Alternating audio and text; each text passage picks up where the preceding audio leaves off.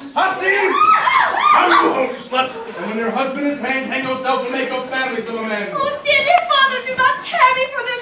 I have more to say to him. I must speak. Don't twist thy feathers about me that he may not haul me from thee. Sure, all women are like her. They commit the folly they should commit another by exposing themselves. Away! Not a word more. You are my prisoner now, hussy.